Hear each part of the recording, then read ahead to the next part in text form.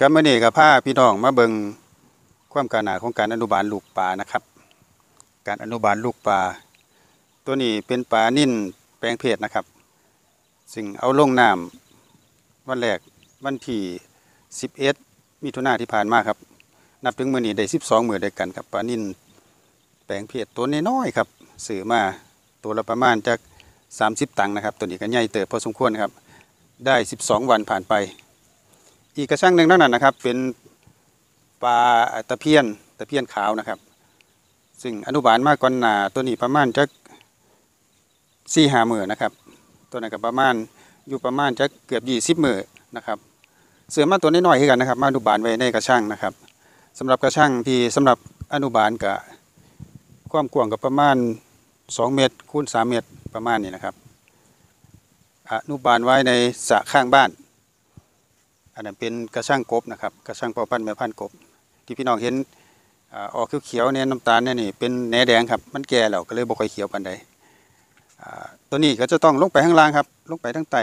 ลงไปฟังนั่นน่ะนะครับยังสิสามารถเห็นรายละเอียดได้เอาไปเบิ่งกันเลยครับ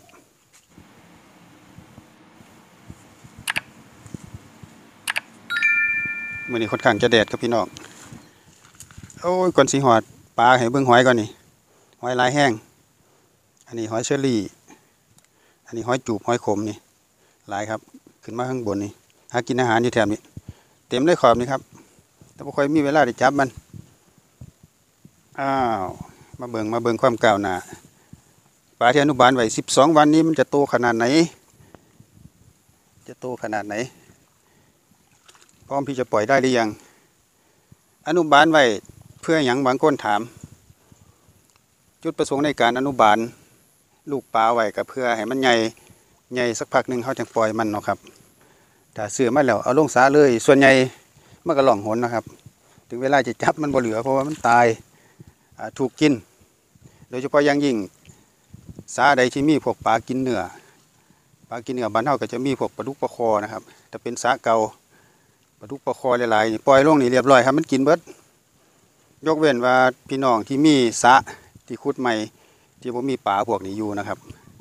ที่บ่มีพวกปลากินกินสัตว์อยู่เฮาก็สามารถปล่อยได้แต่ต้องได้รับการเตรียมพื้นที่ให้พร้อมนะครับ เดี๋ยวรายละเอียดจะบอกที่หลัง มันจะตักได้บ่นี่เพราะว่ามันก็เก่งของมันคือกันเนาะอ๋อสวิงอาจจะเล็กเอ้าตักได้ส่วนหนึ่งเอามาแล้วใหญ่เติบเลยพี่น้องพอดีมก เออ ถ้าซื้อขายกันตอนนี้ก็ประมาณตัวละบาทแล้ว ถ้าห้าไปซื้อตอนนี้ยาวประมาณจะสองเส้นสองเส้นกลัวๆครับสองเส้นถึงสามเส้น ถือว่าใหญ่ไว้นะครับ ถ้าเทียบจากเอามามือแรกตัวใหญ่ก็หัวไม่ขีดนิดนึง ผ่านไปสิบสองวันนี่ก็ถือว่าโอเคครับนี่ใหญ่ไว้เติบ เป็นปลานินแปลงเพศนะครับปลานินแปลงเพศมันจะใหญ่ไว้เพราะว่าอ่าเขามีการให้มันกินเกี่ยวกับฮอร์โมนนะครับ มันจะเป็นปลานินแปลงเพศ มันจะใหญ่ไว้ แต่เขาจะเลี้ยงเพื่อการฆ่า อัตราการแลกเนื้อมันจะดีกว่าปลานินทั่วไป โอ้มันก็ฉลาดของมันเลยตักบทันมันเหมือนอ้าวมาแล้วมาแล้วโอ้พอดีหมกเลยไก่สิได้ปล่อยลงสาแล้วครับนี่ใหญ่เติบแล้วเอามาเบิ่งไก่ๆเบิ่งเทียบใส่นิ้วมือเรา โอ้ได้ขอมือก็กลัวล่ะ ขอมือก็กลัวล่ะใหญ่เติบครับ ก็ยังมีตัวหน่อยบ่ค่อยสม่ำเสมอกันปานใดว่ามันอาจจะเกิดจากว่าเฮาเอามาทีแรก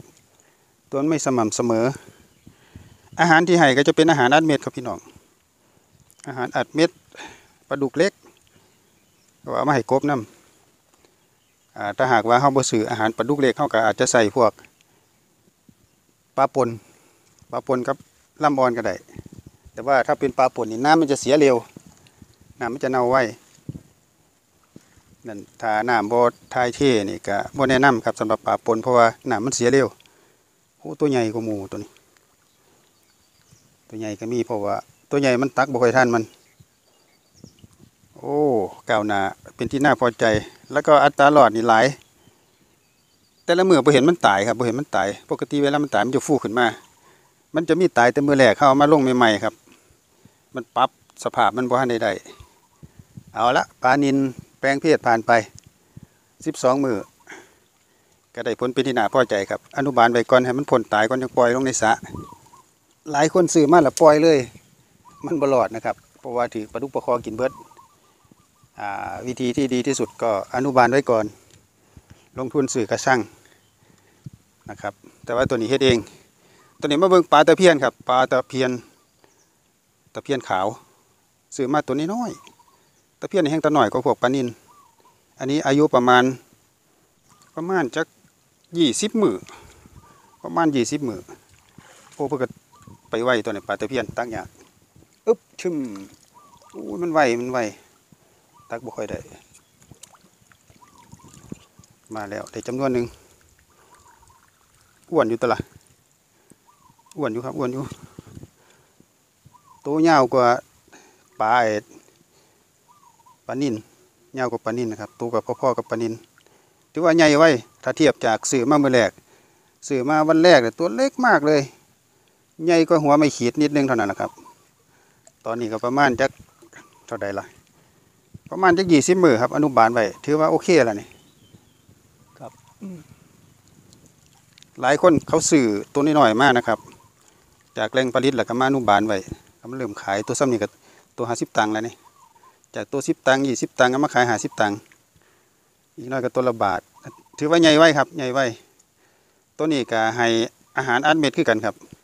อาหารปลาดุกเล็กจริงๆพวกปลากินเผือกนี่ก็จะเป็นอาหารของมันอยู่แต่ว่าเฮาสื่อมาเลี้ยงกบหน่อยก็เลยให้มันกินน้ำกันบ่ต้องสื่อหลายเถื่อเป็นปลาแต่เพียนขาว ขึ้นหัวงอมเลย อาหารก็ให้ประมาณตอนเช้ากับตอนแรกครับเป็นอาหารอัดเม็ด แล้วก็กลางเว้นก็อาหารแหนแดงแหนแดง เนื่องจากว่ามันตัวยังน้อยพี่น้องมันกินแหนแดงพันใดๆดอกยกเว้นว่ามันจะกินหากมัน ก็เลยใส่วิธีเอาแหนแดงนี่ครับไปบดบดโดยใส่โคกแหน่ใส่มือขยี้เนี่ยให้มันเหลวๆกะโยนลงมาให้มันกินรู้สึกว่ามันกินดีนะครับโยนลงเท่าใดก็เบิดเบิดเบิดก็เหลือเฉพาะแต่ตัวที่มันเป็นลำต้นนะครับซึ่งมันกินบ่ได้โอเคครับเมื่อนี้พาพี่น้องมาเบิง ความก้าวหน้า ความก้าวหน้าของปลาที่เราซื้อมาเพื่ออนุบาล ซื้อมาเพื่ออนุบาลครับใหญ่ไวใหญ่ไวแล้วก็แข็งแรงดี อีกประมาณสักสัปดาห์หนึ่งจะปล่อยลงสาแล้วครับตัวนี้ ปล่อยลงสาละเพราะว่าสาตัวนี้หลังจากที่ฝนตกมาน้ำในขั้นหน้านะครับน้ำในทุ่งหน้าฟัง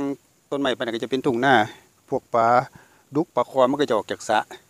ออกจากสะไปไข่ข้างนอกนะครับเขาก็ได้โอกาสเอาปลาซุ่มนี่ลงตรงนี้พอดีนะครับ ซึ่งสะตรงนี้มันเป็นสะที่อุดมสมบูรณ์ อุดมสมบูรณ์ด้วยแหนแดงด้วยแพลงต้นที่เป็นอาหารพวกปลากินพืชว่าไงายๆมันก็จะใหญ่ไว้นะครับหอยเต็มไปหมดเลยหลายคักแต่หอยปีนี้หอยเยอะมากนี่เบื้องทีเดียวนี่ครับนี่ กำเดียว เอาชึกสองบ่องกันได้หมออ่อนไปตัว หอยขม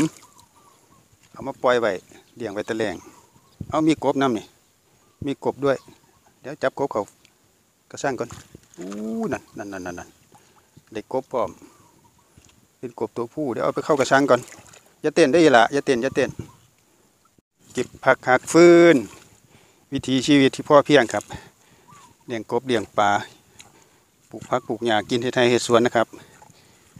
วิถีชีวิตแบบพอเพียง แต่ว่าสิเพียงพ่อพอดีไหนบ่ฮู้คือกัน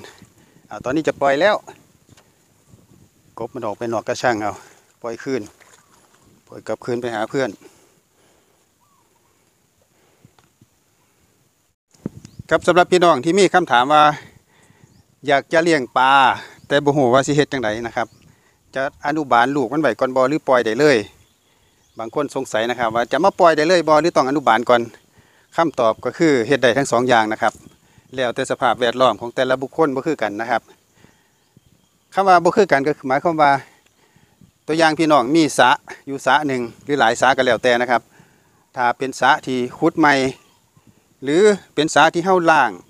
หรือทำความสะอาดแล้วมันปลอดจากศัตรูที่จะมากินปลานะครับ หลังจากน้ำมาแล้วพี่น้องก็สามารถปล่อยได้เลยนะครับ ตัวนี้แนะนำให้ปล่อยได้เลย เพราะว่ามันจะมีพื้นที่ในการใช้ชีวิตของมันนะครับ ปล่อยได้เลย แต่ถ้าเป็นสาใหม่แนะนำอย่างหนึ่งก็คือว่าพี่น้องต้องปรับสภาพดินซะก่อนเพราะว่าสาไม้นี่ในสามันจะบ่มีเลน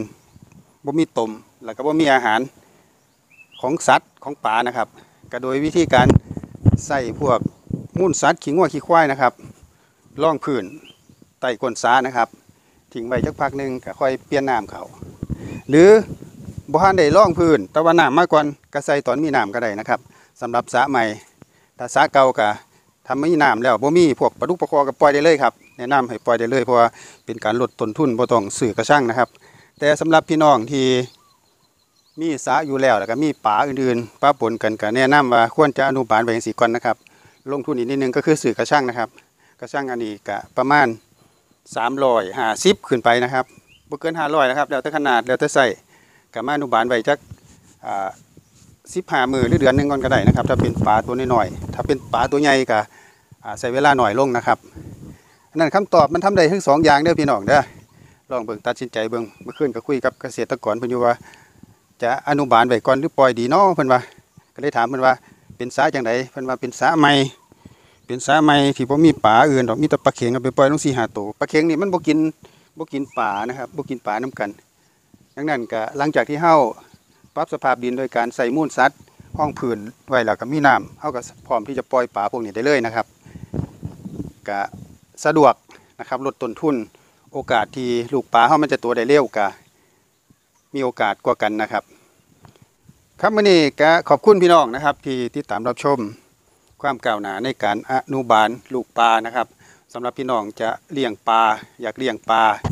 ไว้สำหรับเพื่อการค้าหรือเลี้ยงปลาแบบพ่อเพียงยังก็แล้วแต่นะครับก็หลังจากฟังรายละเอียดจากคลิปนี้แล้วก็คงจะตัดสินใจได้ว่าจะอนุบาลก่อนบอหรือจะปล่อยเลยนะครับขอบคุณทุกท่านเด้อที่ติดตามรับชมนะครับก็อย่าลืมกดติดตามกดไลค์กดแชร์ถ้าคิดว่าเป็นประโยชน์ครับ ขอบคุณและสวัสดีครับ